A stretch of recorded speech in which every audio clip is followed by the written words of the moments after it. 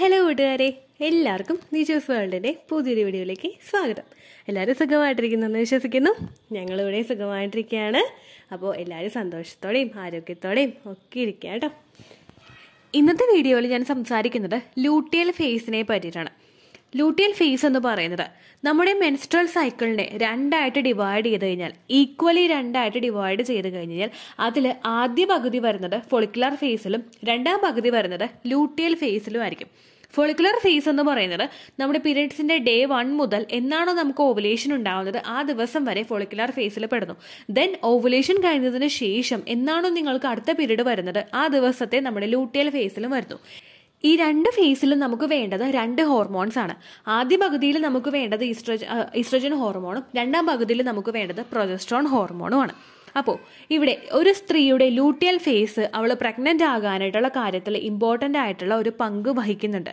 നമ്മുടെ മെൻസ്ട്രൽ സൈക്കിളിന്റെ ലെങ്ത് വെച്ചിട്ട് ഏകദേശം നമുക്ക് മെൻസ്ട്രേഷൻ കൃത്യമായിട്ട് പോകുന്നുണ്ടെങ്കിൽ നമുക്ക് ഓവുലേഷൻ കഴിഞ്ഞ് പതിനാലാമത്തെ ദിവസം പിരീഡ്സ് വരണം.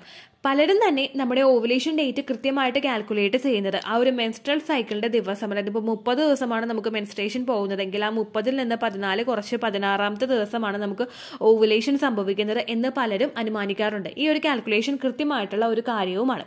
അപ്പോൾ നമുക്ക് ലൂട്ടിയൽ ഫേസിന്റെ ലെങ്ത് കുറയുന്നത്. എപ്പോഴും നമ്മളിൽ ഇറഗുലാരിറ്റീസ് ഉണ്ടാക്കുന്നതിനും നമ്മൾ പ്രഗ്നന്റ് ആകാനായിട്ട് ഡിഫിക്കൽട്ടീസ് ഉണ്ടാക്കുന്നതിനും കാരണമാവുന്നു.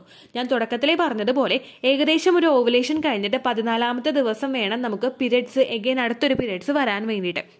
എന്നാൽ ഒരു ലൂട്ടേൽ ഫേസിന്റെ ലെങ്ത് ഒരു പതിനൊന്നിനും പതിനേഴിനും ഇടയിലാണെങ്കിൽ നമുക്ക് അത്ര വലിയ കുഴപ്പമില്ല എന്നും പറയാനായിട്ട് സാധിക്കും.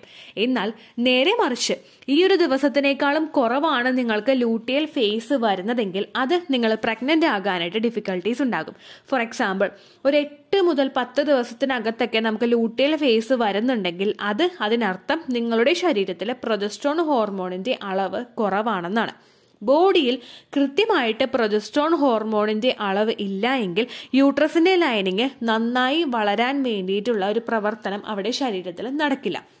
നമ്മുടെ എൻഡോമീട്രി ലൈനിങ് കൃത്യമായിട്ട് വളർന്നു കഴിഞ്ഞാൽ മാത്രമേ അതിൽ പിടിച്ചുകൊണ്ട് നമ്മുടെ ഒരു എംബ്രിയോയ്ക്ക് വളരാനായിട്ട് സാധിക്കുകയുള്ളൂ. അത് വളരാനായിട്ട് സഹായിക്കുന്നത് പ്രൊജസ്ട്രോൺ ഹോർമോണാണ് കാരണം യൂട്രസിന്റെ ലൈനിങ്ങിനോട് ഷെഡ് ആവണ്ട. അവിടെ തന്നെ അത് നോർമലായിട്ട് നിന്നോളൂ എന്നുള്ളൊരു സിഗ്നൽ കൊടുക്കുന്നത് ഈ പ്രൊജസ്ട്രോൺ ഹോർമോണിന്റെ ഒരു ഹൈക്കാണ് ഈ പ്രൊജസ്ട്രോൺ ഹോർമോൺ നമ്മുടെ ശരീരത്തിൽ ഒന്ന് ഡൗൺ ആവുമ്പോഴാണ് ലൂട്ടിയൽ ഫേസിന്റെ അവസാനം നമ്മുടെ ഇംപ്ലാന്റേഷൻ ആ ഒരു എൻഡോമെട്രി ലൈനിങ്ങിനോട് ഷെഡ് ആവാനായിട്ട് നമ്മുടെ ശരീരം പറയുന്നതും ആ ഒരു സിഗ്നൽ കിട്ടിയിട്ട് എൻഡോമെട്രിയൽ ലൈനിങ് ഷെഡ് ആവുന്നതും.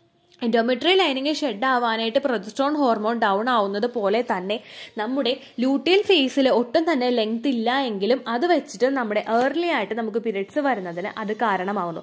അങ്ങനെ വരുമ്പോഴേക്കും നമ്മുടെ എൻഡോമെട്രി ലൈനിങ് വേഗത്തിൽ അങ്ങോട്ട് ഷെഡ് ആവുകയും തന്മൂലം നമുക്ക് പ്രഗ്നൻസി ആകാനായിട്ട് കുറച്ച് ഡിഫിക്കൽട്ടീസ് ഉണ്ടാവുകയും ചെയ്യുന്നു. അപ്പോൾ ഇന്ന് തന്നെ നിങ്ങൾ ചെയ്യേണ്ട കാര്യം നിങ്ങളുടെ മെൻസ്ട്രൽ സൈക്കിളിന്റെ ലെങ്ത് വെച്ചിട്ട് നോക്കിയിട്ട് എന്നാണോ ഓവുലേഷൻ നിങ്ങൾ എക്സ്പെക്ട് ചെയ്യുന്നത്? അതിനേക്കാളും എത്ര ദിവസം കൂടി എത്ര ദിവസം കഴിഞ്ഞിട്ടാണ് നിങ്ങൾക്ക് പീരീഡ്സ് വരുന്നത് എന്ന് എണ്ണി തിട്ടപ്പെടുത്തുകയാണ്.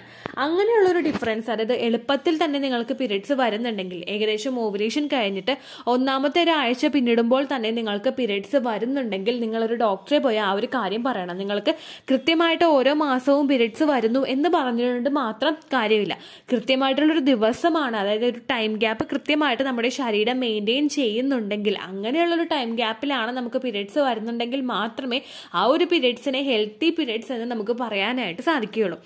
അപ്പോൾ നിങ്ങളുടെ മെൻസ്ട്രൽ സൈക്കിളിന്റെ ലെങ്ത് വെച്ചിട്ട് ഒരു എട്ടാമത്തെയോ ഒരു പത്താമത്തെയോ ദിവസം ഓവുലേഷൻ കഴിഞ്ഞിട്ട് നിങ്ങൾക്ക് പീരിയഡ്സ് വരുന്നുണ്ടെങ്കിൽ അത് ഒരിക്കലും ഹെൽത്തി ആയിട്ടുള്ള ഒരു പീരിയഡ്സ് അല്ല. ആ ഒരു ലൂട്ടിയൽ ഫേസിൽ നിങ്ങൾക്ക് ശരീരത്തിന് വേണ്ടുന്ന അത്രയും പ്രൊജസ്ട്രോൺ ഹോർമോൺ പ്രൊഡ്യൂസ് ആകുന്നില്ല എന്ന് നിങ്ങൾ മനസ്സിലാക്കേണ്ടിയിരിക്കുന്നു കേട്ടോ. ഇങ്ങനെ ഈ ഒരു സമയത്ത് നമുക്ക് എന്തുകൊണ്ടാണ് ഇങ്ങനെ ഒരു പ്രൊജസ്ട്രോൺ ഹോർമോണിന്റെ ഡെഫിഷ്യൻസീസ് വരാനായിട്ടുള്ള പ്രധാനപ്പെട്ട കാരണങ്ങളെന്ന് നമുക്ക് നോക്കാം. ആദ്യത്തെ എന്ന് പറയുന്നത് പി സി ഒ ഡി ആണ്. പി സി ഒ ഡി വരുമ്പോഴേക്കും നമ്മളുടെ ശരീരത്തിൽ ഉണ്ടാകുന്നത് ഈസ്ട്രോജൻ ഹോർമോണിന്റെ ഡൊമിനൻസ് ആയിരിക്കും. അങ്ങനെ വരുമ്പോഴേക്കും നമുക്ക് ഈ ഒരു പ്രൊജസ്ട്രോൺ ഹോർമോണിന്റെ അളവ് കുറയാം. അതുപോലെ തന്നെ എൻഡോമെട്രിയോസിസ് ഉള്ളവർക്ക് അതുപോലെ ഒബിസിറ്റി ഉള്ളവർക്ക് അതായത് അമിതമായിട്ടുള്ള ശരീരഭാരമുള്ളവർക്ക് തൈറോയിഡ് ഉള്ളവർക്ക് കൂടുതൽ സ്ട്രെസ് ഉള്ളവർക്ക് അതുപോലെ പ്രായം കുറച്ച് കൂടിപ്പോകുന്ന അതായത് നമുക്ക് മെനോപോസിലോട്ട് നമ്മൾ അടുക്കുന്ന സമയത്ത് പ്രായക്കൂടുതൽ വരുംതോറും നമുക്ക് അങ്ങനെ ഉണ്ടാവുക.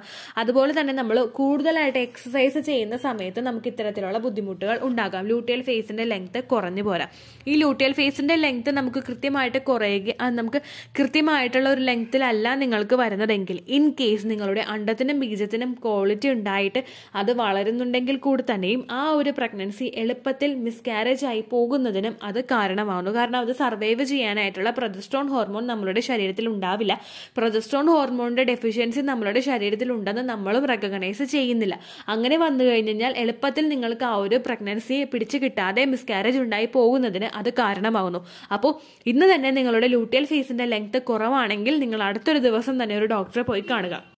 ഡോക്ടർ നമുക്ക് പ്രൊജസ്ട്രോൺ ഹോർമോണിന്റെ അളവ് നമ്മളുടെ ശരീരത്തിൽ കൃത്യമായിട്ടുണ്ടോ എന്ന് പരിശോധിക്കും. ആ ഒരു ഹോർമോണിന്റെ അളവ് നിങ്ങളുടെ ശരീരത്തിൽ കുറവാണെങ്കിൽ പ്രൊജസ്ട്രോൺ ഹോർമോണിന്റെ സപ്ലിമെന്റ്സ് ഒന്നുകിൽ നമുക്ക് ഓറലി കഴിക്കാൻ വേണ്ടിയിട്ടോ അല്ലെങ്കിൽ വജൈനയിൽ ഇൻസേർട്ട് ചെയ്യാൻ വേണ്ടിയിട്ടോ നമുക്ക് തരും.